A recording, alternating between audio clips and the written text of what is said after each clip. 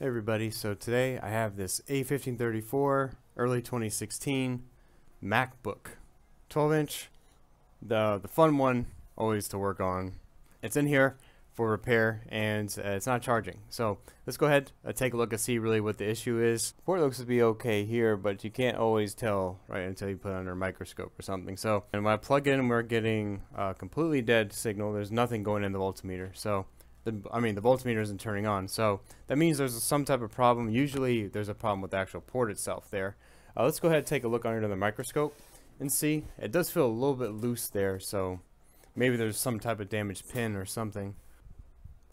Alright so you see this area? You see that? You can almost see the pin here.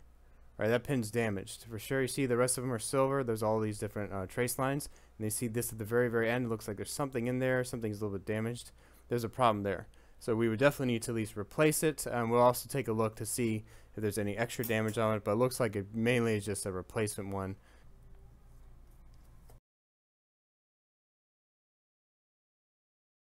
Now for these models, these are made are made like traps. When you open them, I'll show you guys here. See this cable? When you move on this model, you see that? There's a cable and yeah, the trackpad cable. So you definitely want to make sure that you remove that first and that you don't rip anything.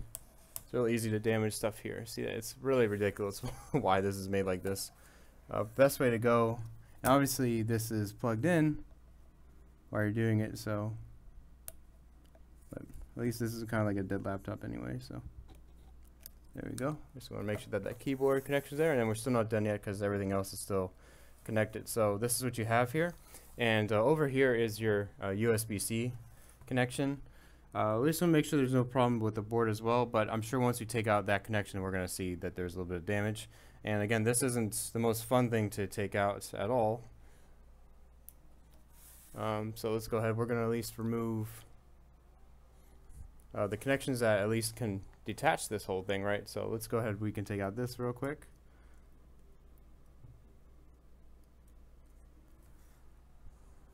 Alright, now we can at least lay it somewhat flat here.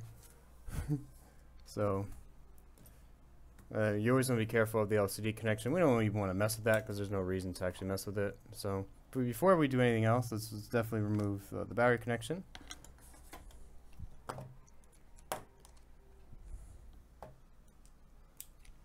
And then what we like to do is, uh, this is these are kind of like tablets. These are these are metal contacts here, so we can put something under it so as you're working on it, you don't want to damage it.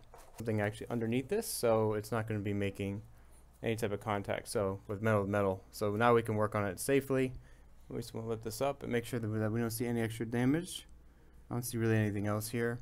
And I believe to remove this, or at least to put it back in, we're going to have to take off uh, the screen hinge here, if I'm not mistaken. But let's see. I might be able to remove this without it, but...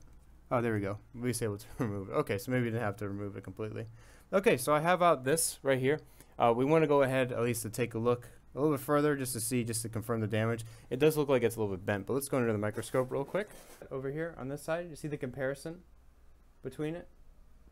See how the plastic is totally gone and this is damaged compared to the other side? This is how it should look like, and this is how it actually is. And you can see this is held in by what? By anything at all? No. So it looks like this is completely damaged here.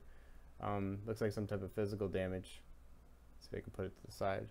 Now this is a little bit dangerous obviously to keep plugging it in so we definitely know this needs to be replaced and thank goodness it's just a removable part.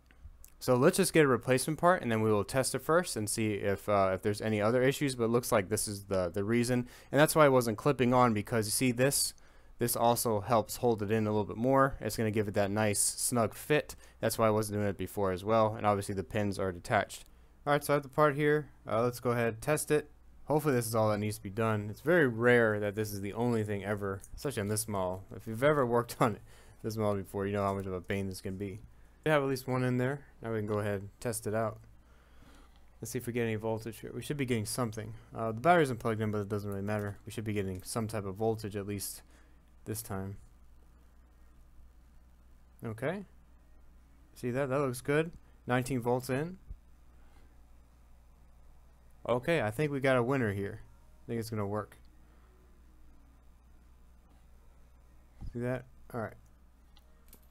I'm not worried about it. We want to make sure this is at least up and running because obviously, like, you know, the battery's out and stuff. So I know when these, when you plug these in, you see this here, you have to remove the palm rest. Uh, I mean, you have to remove the hinges of the screen because the hinges of the screen actually get in here and you're not able to put it in perfectly. I know I removed it one way, but putting it in is always a different animal there. So let me go ahead. We need to remove at least this part. I think I have to do it on both ends because, or at least this end here, because it just doesn't want to do it ever. So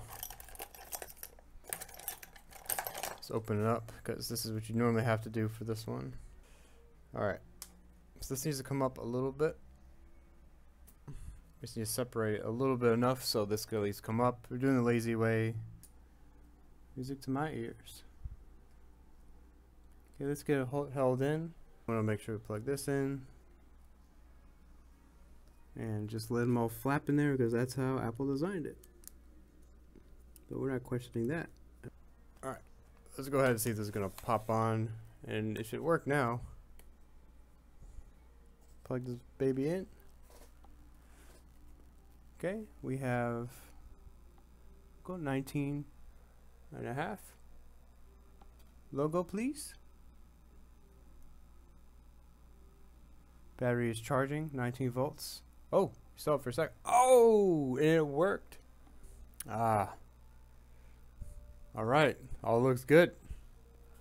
Anyways, guys, I hope you guys enjoyed watching this video on the A1534 early 2016 USB-C uh, port replacement. If you're lucky, it's only going to be a USB-C port replacement. It's very rare on these models, especially if there's any damage. Usually you might see 5 volts, and that's not a fun time. These ones aren't a fun time to repair at all. But at least this one wasn't really too bad, obviously doing the USB-C port. But anyways, I hope you guys enjoyed watching this video. If you did, please leave a like, really does help us a lot. Subscribe for more content, and we'll see you guys in the next video. Take care. Bye.